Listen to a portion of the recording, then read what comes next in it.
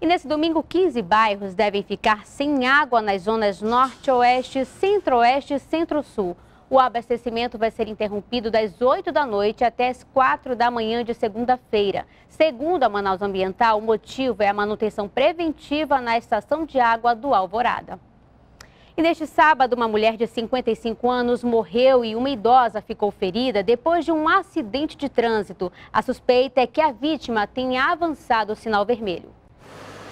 O acidente envolveu um micro-ônibus do transporte executivo e um carro de passeio. Foi no início da manhã deste sábado, na Avenida André Araújo, zona centro-sul de Manaus. Segundo informações do Corpo de Bombeiros, o motorista do micro-ônibus seguia no sentido centro quando a condutora do Fox avançou o sinal vermelho. O motorista, identificado como Ronilson Galvão, ainda tentou desviar, mas acertou na lateral do carro e a condutora, identificada como Deusimar Barroso, morreu na hora e uma idosa de 60 anos ficou presa nas ferragens. Este vendedor de frutas, que trabalha próximo ao local do acidente, disse ter visto tudo. Segundo ele, a condutora do carro, identificada como Deusimar Barroso, teria avançado o sinal vermelho. O sinal estava vermelho, estava fechado para ela, ela foi avançar.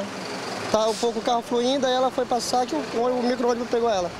Aí se eu levando até lá para o Logos. O carro ficou completamente destruído. Uma idosa de aproximadamente 60 anos ficou presa nas ferragens e foi levada em estado grave ao Hospital e Pronto Socorro 28 de agosto. Já o motorista do micro-ônibus, Ronilson Magalhães, foi para o primeiro DIP prestar depoimento. Fez de tudo para se desviar do veículo, mas infelizmente não, não teve condições, porque é, ela avançou de imediato o sinal vermelho. Em outro acidente, na Avenida Humberto Calderaro, também na zona centro-sul, dois homens ficaram feridos depois da colisão entre essa motocicleta e um carro. Os dois foram levados pelo SAMU para o pronto-socorro 28 de agosto. O sábado foi dia de revista no IPAT. Familiares dos detentos não puderam passar nem da barreira do ramal que dá acesso aos presídios e as visitas foram suspensas. A passagem foi proibida o dia inteiro no ramal que dá acesso aos presídios na BR-174.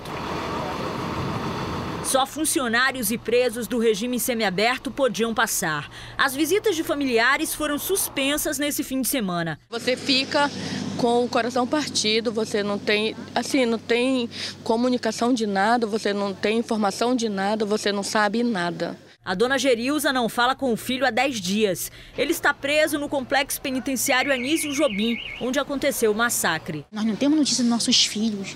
Nós não temos notícia como é que se está vivo, se está morto ou como é que ele está. O sábado foi dia de revista em outro presídio, o Instituto Penal Antônio Trindade. Os presos foram retirados das celas e foram encontrados celulares, dinheiro e materiais que poderiam ser usados como arma. A polícia ficou lá dentro a manhã inteira. A revista durou mais tempo que o normal porque tanto a Secretaria de Administração Penitenciária quanto a Polícia Militar precisaram fazer a contagem dos presos para saber o número exato de fugitivos, já que havia suspeita da quantidade ser maior. Mas a Secretaria de Administração Penitenciária manteve o número de fugitivos em 184. Os três presídios onde aconteceram os tumultos foram revistados essa semana. Pé de maconha e até roteador para uso de internet foram encontrados. Dos fugitivos, 67 foram recapturados até agora. No Compage, quatro detentos foram soltos porque cumpriam pena por não terem pago pensão alimentícia. Na cadeia pública de Manaus, a movimentação foi tranquila hoje, apesar de uma ambulância ter sido chamada para atender um preso que passou mal.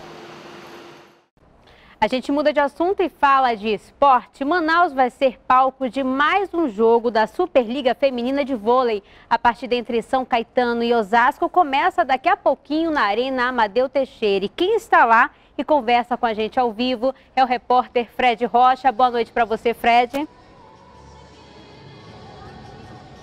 Boa noite, Priscila. Muito boa noite a todos que estão acompanhando o, o, Jornal em Tempo. A partida entre as duas equipes vai começar daqui a pouco, às 8 horas da noite, aqui na Arena Amadeu Teixeira. Vai ser o primeiro jogo deste ano de 2017, mais da temporada 2016-2017. Agora há pouco, os portões foram abertos aqui na Arena Amadeu Teixeira e os torcedores já estão começando a entrar, começando a chegar. Segundo a Segel, quase 4 mil ingressos foram vendidos. E os torcedores que chegaram mais cedo, inclusive, já pegaram chegaram aqui as primeiras fileiras, né? O primeiro banco aqui para acompanhar a partida.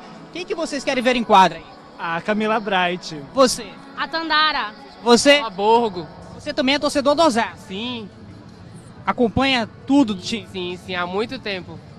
Olha só, os torcedores já chegaram aqui para acompanhar, né, assim como os outros que já estão do lado de fora. Falando um pouco sobre as equipes, o São Caetano está em nono lugar na classificação e o Osasco é o segundo lugar, uma das principais equipes. Em relação aos times que vêm à quadra, as jogadoras do Osasco, principalmente as mais conhecidas, que inclusive da seleção brasileira, como Dani Lins, levantadora, a segunda maior pontuadora da competição, tem a Camila Bright, líbero também, considerada a melhor desta competição, e também tem a Tandara, que inclusive é uma certa dúvida aí. Para você que quer vir ao jogo, não comprou ingresso, os ingressos ainda estão sendo vendidos aqui na bilheteria da Arena Amadeu Teixeira, custam 30 reais a meia entrada inferior, 50 superior e a cadeira VIP 100 reais. Você que não tem a carteirinha e que quiser ter direito ao ingresso meia entrada, pode trazer um quilo de alimento não perecível. Priscila, eu volto com você ao estúdio. Muito obrigada, Fred Rocha, ao vivo lá da Arena Amadeu Teixeira. O Jornal em Tempo fica por aqui. Não esqueça, ele também é transmitido pelo Facebook. Basta entrar na página do Em Tempo, essa que aparece agora no seu vídeo, e acessar. Você também pode acompanhar pelo portal Em Tempo e pelo YouTube. Uma ótima noite para você. Até a próxima.